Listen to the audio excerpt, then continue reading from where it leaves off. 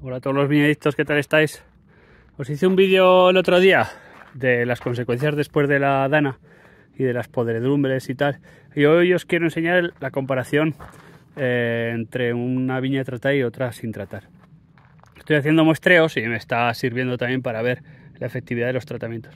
Esta es una viña que tiene un racimo, como veis, es una garnacha de racimo compacto de valla grande, eh, que tiene unas producciones moderadamente buenas eh, y lo comparamos con otra parcela del mismo señor que, eh, que tiene las mismas producciones. Entonces, para que veáis que he cogido dos cubos, en esta de aquí que está tratada, esta parcela que está tratada, he sido incapaz de ver podredumbres, fijaros, a pese a que el racimo es un racimo compacto y fuerte.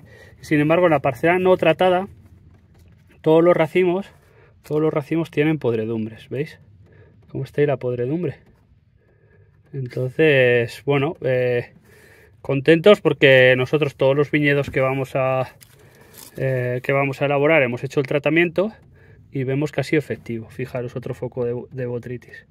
Que ha empezado nada, eh, hace bien poco, pero todos los racimos que he cogido de este señor, de la viña sin tratar, están todos con botritis. Y todos los que he cogido de la viña tratada, en este caso hemos tratado con con Botrilés del alemán, del alemán Oenology, eh, que es un quitosano de origen fúngico.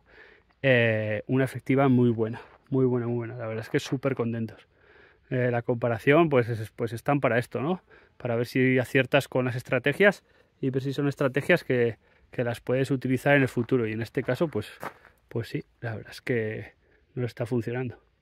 Un saludo a todos.